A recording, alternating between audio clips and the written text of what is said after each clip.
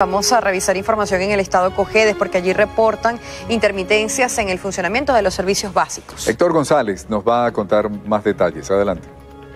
Muy buenos días y feliz inicio de semana para la querida audiencia de Noticias Venevisión. En Cojedes amanecemos informando sobre los problemas eléctricos en el municipio Girardot, en sus parroquias El Baúl y Sucre donde los habitantes denunciaron que desde hace 15 días les han aplicado racionamientos de cuatro horas todos los días. Esto sumado a problemas en el servicio desde hace varios años que los mantiene en vilo por múltiples apagones y fallas en el voltaje que han dañado los aparatos eléctricos de cientos de familias.